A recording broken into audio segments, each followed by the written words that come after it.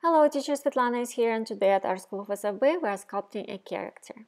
In game industry and animation, many people uh, usually work on the same character down the pipeline. So a maquette of the character or a sculpture of a character is created for everyone to have a very good reference of the character. Last week you designed a character, so today you can uh, create a sculpture of it. Here's the design from last video that teacher Ali kindly allowed me to use for this class.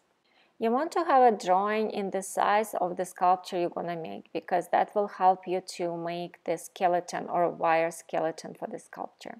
Uh, use aluminum wire because um, it bends much better than the wire made of steel.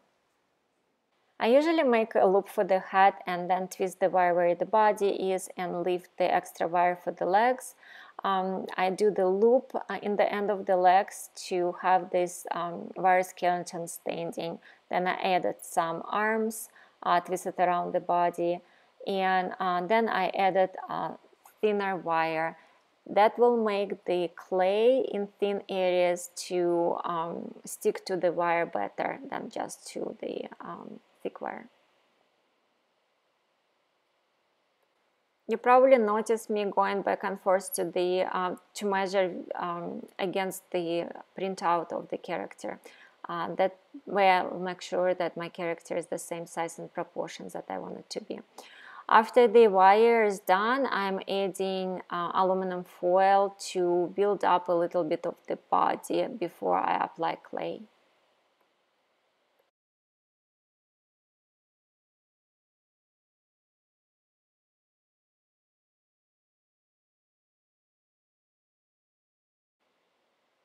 This is a polymer clay I'm going to be using. It's called Sculpey and you will need to bake the sculpture after it's done. Uh, 275 Fahrenheit and 15 minutes for every quarter of inch of thickness. Apply the clay piece by piece. Don't work with the big piece of clay at the same time. Just um, add some pieces and uh, put them together, uh, smudge them and um, form the body parts. When you're building up the sculpture, uh, please make sure that it's not flat. So if the character looks like a human or an animal, um, all the body parts uh, have volume, so don't make it uh, thin, flat um, body shape.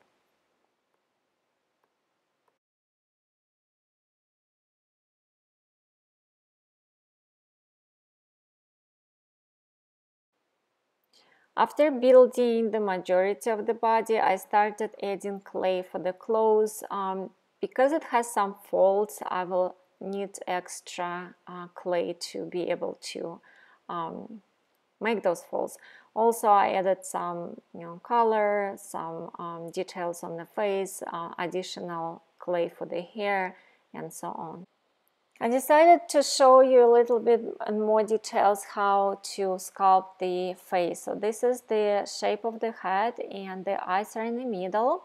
So I'm indenting in the areas where the eye sockets are. And then I flatten down for the cheeks, um, indicate where the tip of the nose is and even adding some clay for the, uh, for the nose if I want to have the actual nose for the character um, the mouth between the tip of the nose and the chin and I'm making um, a raised area there. The additional clay will help me to sculpt out the lips uh, because lips are not flat on the face. They're actually on the um, cylinder shape there.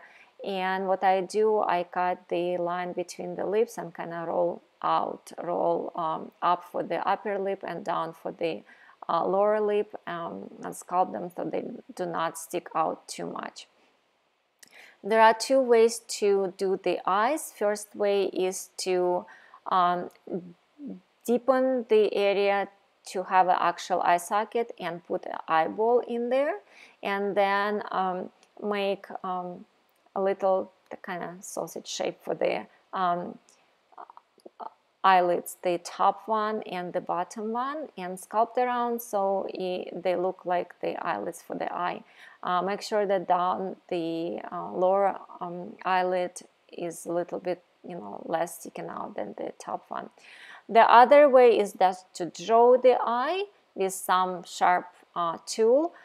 I do not like this method because it makes the um, eye still look flat and um, but it look it works pretty well for the characters that um, are cartoony looking and also if the head is pretty small so there's um, very hard to sculpt the actual eye.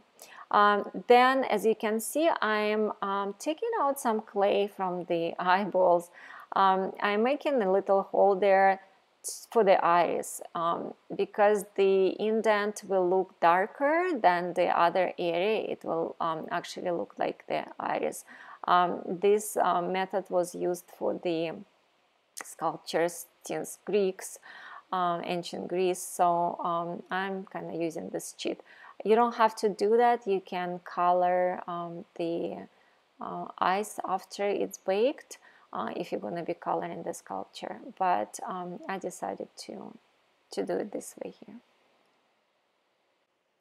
I remember that the hair is additional volume so you want uh, you want to add more clay on top of the head to um, make those um, that hairstyle that you want for your sculpture. So um, this is the character so far I added some folds, I added some legs, um, uh, hands, um, drew some face. Um, what I want to show you is also how to create textures. Uh, as you can see here, we have the very um, fuzzy texture on her color. So that's what I'm going to be doing. Um, I'm going to create in this character, uh, this texture in there. So what I do, I basically poke the surface with the needle or you can use um, tip of your sharpened pencil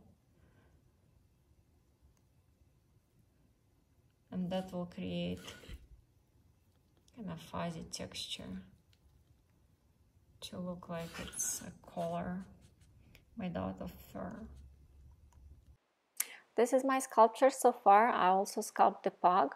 They are standing on the temporary base. Uh, I will make a flat one after I bake those uh, figures. Um, I will also paint them after they are baked. That's it.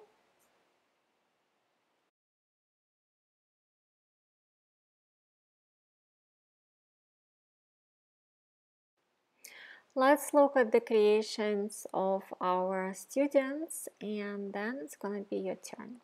Thank you. Good luck.